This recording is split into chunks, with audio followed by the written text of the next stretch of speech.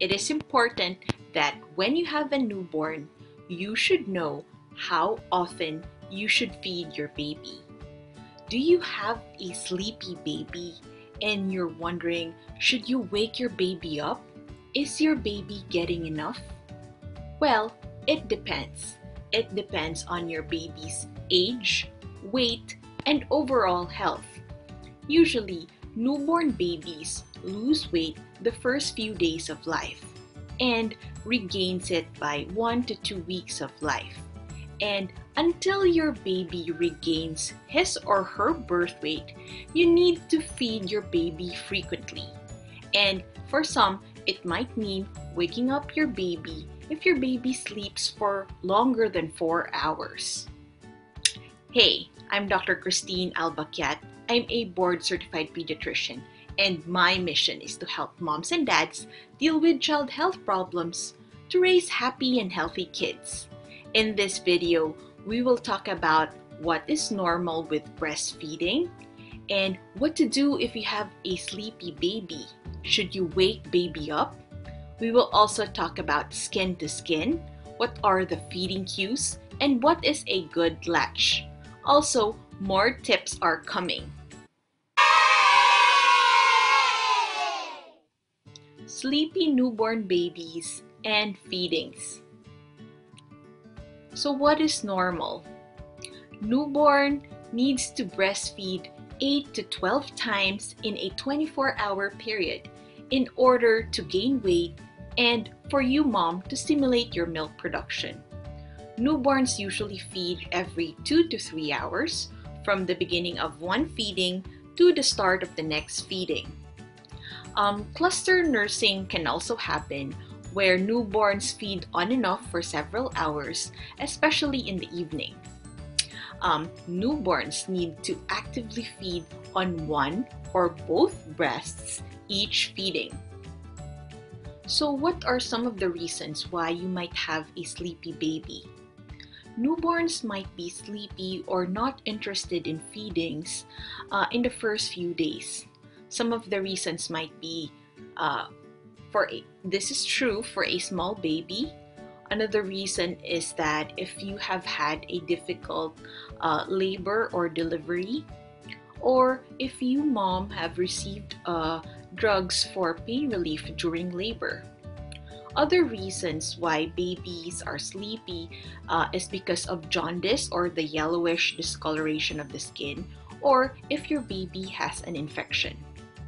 Now, frequent breastfeeding can prevent jaundice in normal newborns from becoming a problem. So, if you have a sleepy baby, you need to wake your baby up to make sure that your baby gets enough milk. It is easy to wake up your baby for feedings if your baby is in a light sleep cycle what are the signs that your baby is in a light sleep cycle. So, if there is rapid eye movement under your baby's closed eyelids, if there's active movements of the arms and legs, if your baby is has sucking movements, or there are changes in facial expression. Aim to feed your baby at least 10 times in a 24 hour period. Um, encourage active nursing make sure that your baby is swallowing and also do breast compression. And then do the same thing in the other breast. And make sure your baby feeds at night too. They need to do that as well. So it is better that you keep your baby close by day and night. And what other things can you do to wake your sleepy baby for feedings well, you can dim the lights and make the room quiet and peaceful. Try to make the room temperature cool as well and aim for a temperature of 18 degrees Celsius or lower. You can also undress your baby a little bit um, if you think your baby is warm. This is because if your baby is warm, it can make him or her sleepy. You can unwrap your baby's blankets as well. Now, what are babies' feeding cues? And what are the signs of a good latch? And how to go about skin to skin? I am also going to offer you more tips as well. But before we go to that, are you expecting a baby? Or you already have a newborn baby? How much better life can be when things are under your control upon baby's arrival. You feel confident with breastfeeding your baby. You know how to soothe a crying baby. You know the signs to watch out for that would indicate that baby is sick. You would know how to take care of yourself and watch for the signs of postpartum depression. Well, I'm offering an online training video series known as the 5 Newborn Care Strategies. Do check that out in the description section. Let's go to knowing your baby's feeding cues. Your baby is more likely ready to feed when your baby has these feeding cues. One example, if there are mouth movements where there's smacking or licking up the lips, when your baby is sucking on the lips, tongue, um, fingers, hands, toes, and toys when your baby is squirming or fidgeting, when your baby has the rooting reflex, and um, remember, crying is also a feeding cue, but let's not wait for that. It is a late hunger sign. Good latch is important. This is because if your baby is not latched on well, your baby might need to work harder to get enough milk and this would make your baby tire easily and fall asleep. Um, making small adjustments on how your baby comes to a breast can make a huge difference. So remember, ask help from a lactation specialist in the hospital. And also, do you feel that your breasts are engorged? Try hand expressing a little milk before your baby attaches to the breast. If your baby is still having difficulty with breastfeeding, try skin to skin. Um, how to go about it.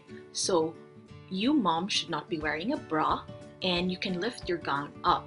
And baby should be undressed except wearing a diaper. And you let your baby mom lie on yourself as you recline. And baby's chest and tummy should be against you and then cover both mom and baby with a blanket and just enjoy each other. When your baby is ready to feed, your baby would look for the breast and attach and latch. What else can you do to help with breastfeeding? Well, you mom should keep yourself comfortable. Make sure that your arms and back are well supported. Also, keep your breast at its natural level and keep your baby close and cuddled with you. Um, make sure that your baby's nose is close to your nipple. This would encourage your baby to extend his or her neck and open his or her mouth wide in order to get a good deep latch. And of course, seek help. If your baby is not responding to all your efforts to breastfeed, then don't give up. Don't give up too soon. You can check with your doctor to make sure that your baby does not have a medical reason for this problem. Hey, if you like this video, watch my next video where I teach you about other child health problems.